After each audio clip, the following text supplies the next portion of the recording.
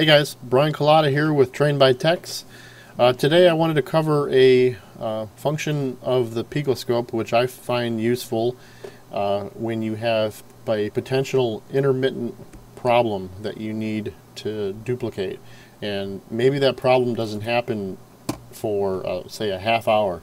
Maybe you're you're trying to get that vehicle to act up and it requires the engine to be hot and it, and it needs a very long soak of say a half hour to an hour of the thing idling in, in your bay.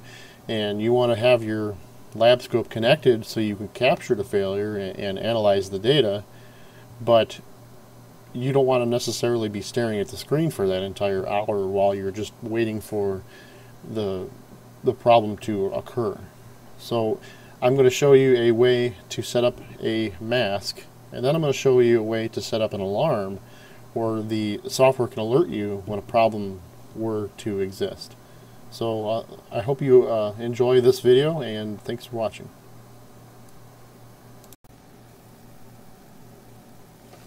Alright guys, so we have the uh, Picoscope set up here. Um, right now I'm just using it in, uh, in demo mode um, the uh, what I'm looking here on channel B is just injector current.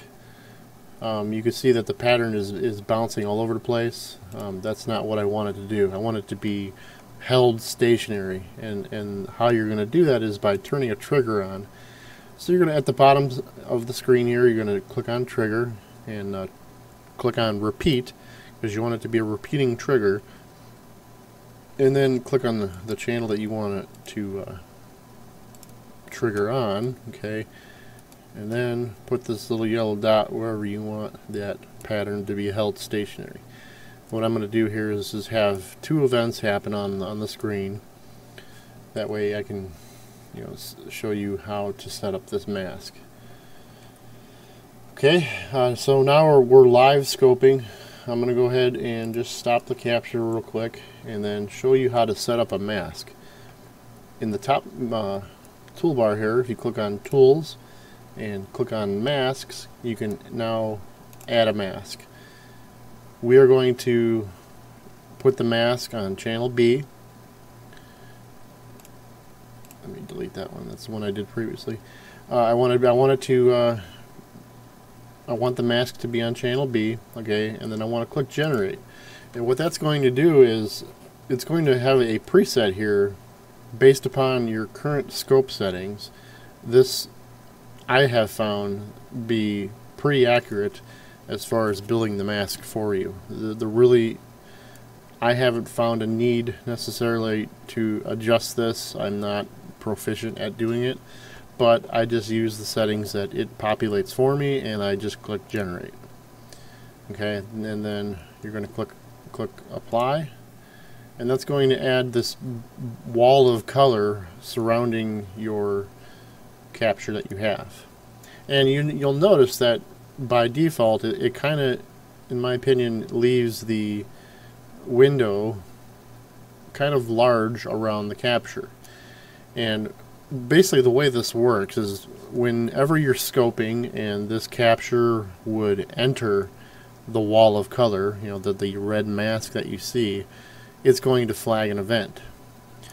Um, I'm going to begin the capture again here. This number that's counting in the bottom right here is going to be all of the events that it sees that are happening successfully. Okay, and then in the left side here is going to be all of the failure failures that it sees. Okay, and a failure is going to be anytime that this uh, capture would be entering the red zone of the mask. Um, what I like to do is tighten up this mask a little bit. That way if you have any errors, you don't have to travel too far to enter into the error zone of the mask. And the easiest way that I've found to do that is just by clicking in the middle of the screen or um, right clicking in the middle of the screen and then clicking on masks and then edit mask. Okay what that's going to do is pull up these little dots. And these little dots you can left click and drag and basically tighten up the the, the error block of the mask so that anytime that the capture would enter this red color it's going to flag an error.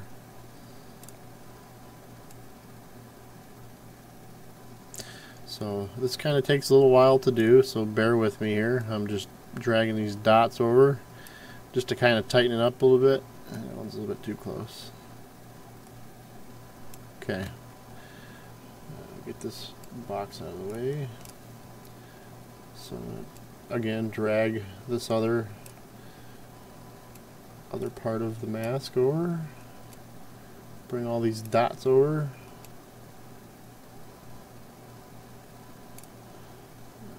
It's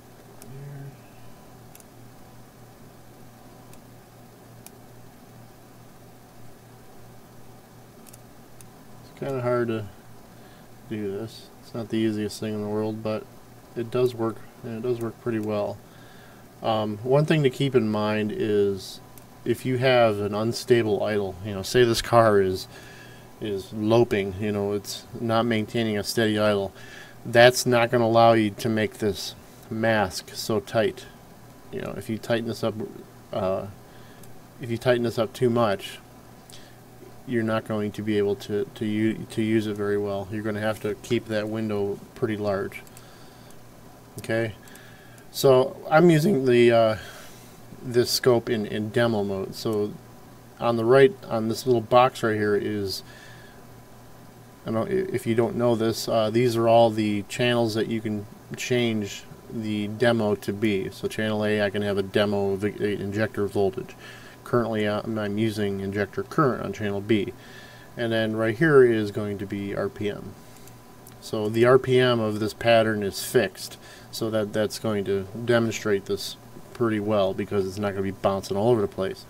So if you have a vehicle that that has a loping idle, you know, make make sure you make these this window a little bit larger to allow that uh, frequency change to happen without giving you false errors. Okay, so now that we have this a little bit tighter, uh, I'm going to again recapture. So I'm I'm live right now. I'm these are all my successful captures and then on the left here are all my failures. So currently there are no failures.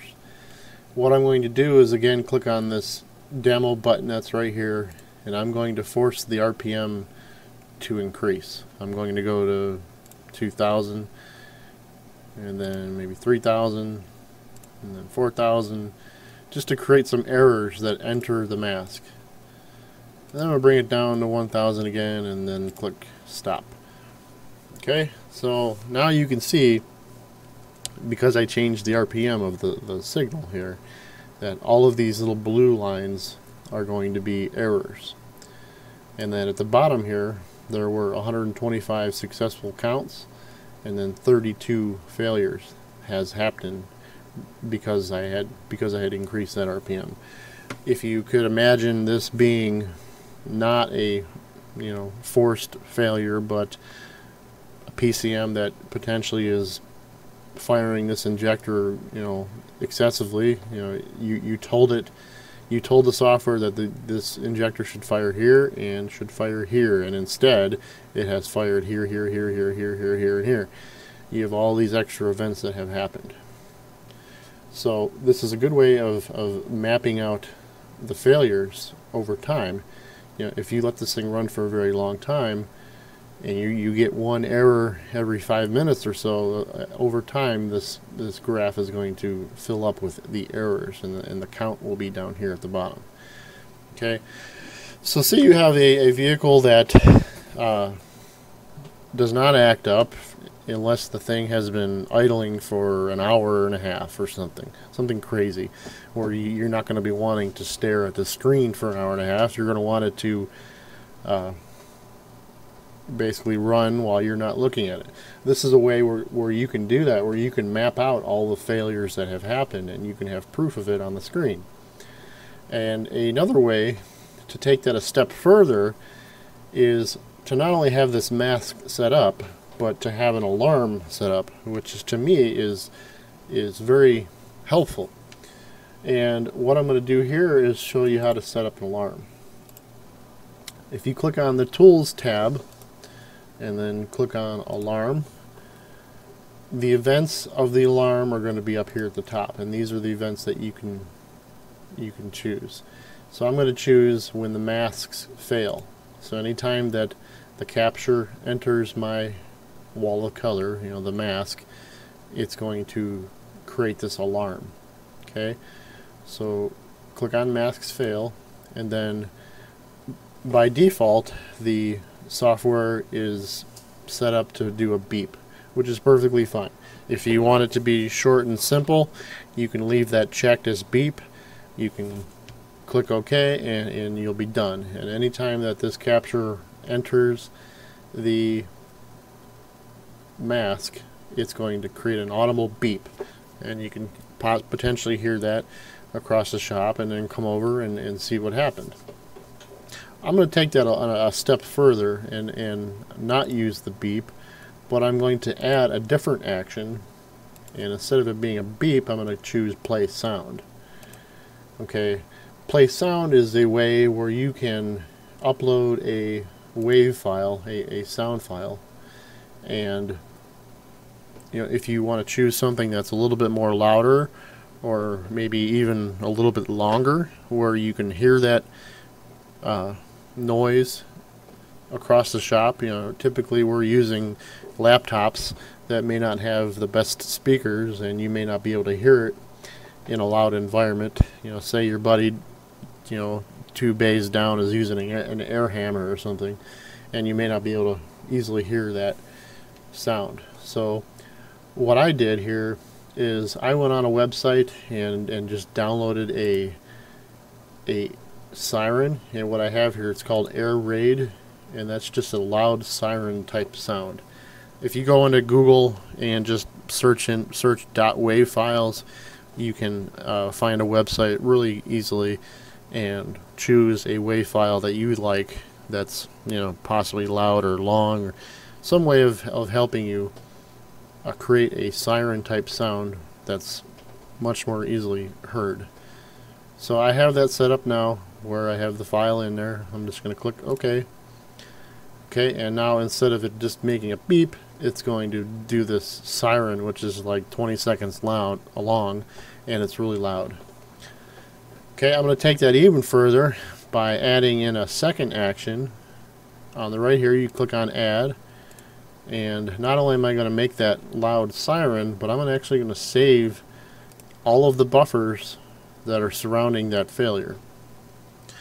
So anytime that this capture were to enter this mask, it's going to make this really loud siren sound and then it's going to save the file for me. So say I even go on a say I go on a test drive or something and this thing is run running in my bay while I'm driving a car when I get back, if any failures were happened, it, it's going to save the file for me, which is which is great. You know, I don't, I really don't need to babysit this thing at all. I can be even out of the building, and the the event will be captured for me. So what you're going to do is again click on Save All Buffers, and then the file you're going to just click on that button here, uh, and, and basically tell it where you want to save the uh, file at and I'm just going to choose this folder here which is labeled Honda. I'm just going to choose Honda as the file name. You can do whatever you want. Obviously this obviously this isn't a Honda. That I'm in demo mode so this is just an example. But and click save. And then click OK. Okay now again I'm going to play this real loud siren and then I'm going to save the file anytime a failure happens. Okay, and then just click OK. That's all you have to do. So now I'm going to start to capture. I'm going to go work on something else. I'm going to potentially go on a test drive, go on lunch, you know, go do whatever you got to do. And uh, this will alert you and save the file if an event happens. And what I'm going to do right now is just increase the RPM of the pattern to make the capture enter the mask so the event is, is captured. You can see there are so far 125 successful events that have happened that have not failed and then there are zero failures. So I'm going to click on this demo button here and just go ahead and click on the RPM button once. And there's my siren.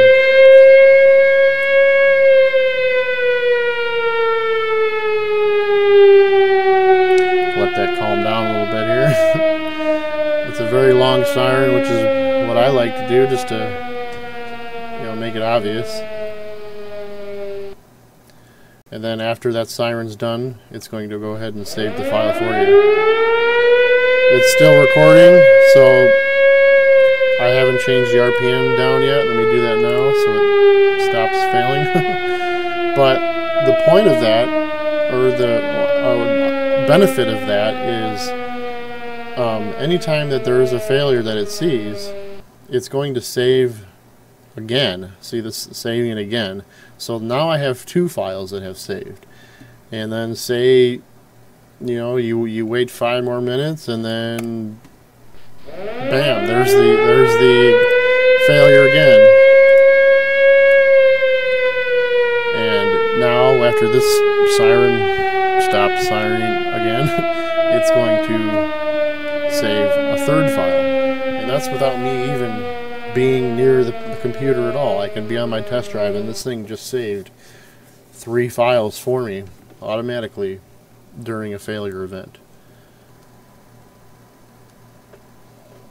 Okay, now that you uh, have you've gotten back from your test drive, you, you saw that there were failures, and then you can see that the, the software has made these files for you automatically, and it's going to label them you know, as as as it keeps overwriting the file. It's not going to overwrite the file. It's going to actually create a second one. It's going to put a 2 and a 3 and a 4 and a 5. And it's going to keep, keep saving additional files for you so you can have all of your failures uh, saved for you when you get back on your test drive or, or, you know back from whatever you were doing.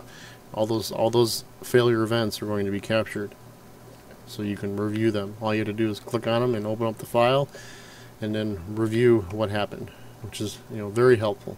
I hope this helped you guys. Um, this is uh, another way to deal with intermittent problems. You know, our, our job is hard enough to fix cars, and it's hard enough to diagnose cars, and it's extremely hard to diagnose vehicles that aren't necessarily broken in front of you. You need to, you need to duplicate the problem somehow. And if it takes you idling this vehicle for an hour, um, this is one way where you can do that without having to stare at the screen for an hour. So you can still be efficient and, and, and accurate at the same time. So I hope this helped you guys. Uh, thanks for watching.